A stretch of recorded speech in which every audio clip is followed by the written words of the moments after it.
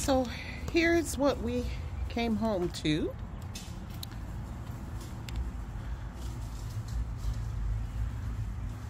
We're in the middle of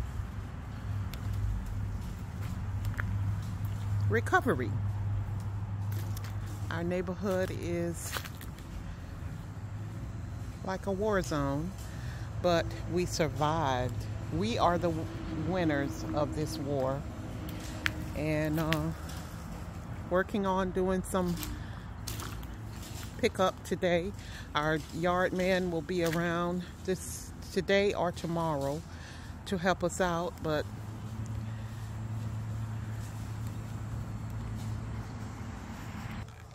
we are blessed and uh, highly favored. I'm happy to say we survived and we're back home and I am ready to start filming again. So hope to see you guys on a morning walk tomorrow. Thank you for watching.